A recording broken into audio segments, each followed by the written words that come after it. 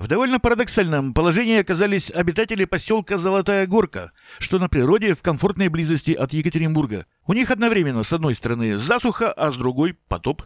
Причем потоп не по случаю весны. Людей топят их же собственные фекальные ручьи, а вот из кранов как раз не течет ничего по большей части. Это люк. Это не таяние снега.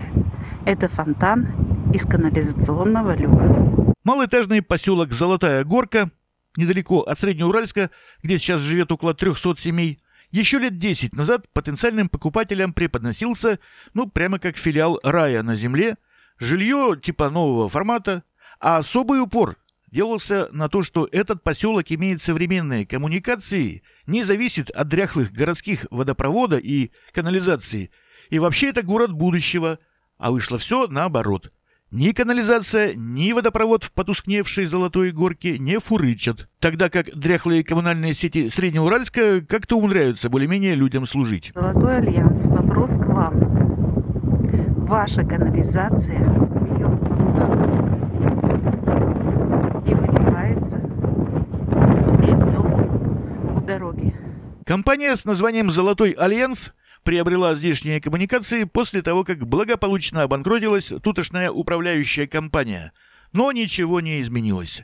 Местная жительница пишет, цитата, «У нас опять проблема. Сточные воды из канализации просто текут по полям, а питьевую воду перекрыли. Начиная с декабря холодное водоснабжение отключают ежедневно на несколько часов.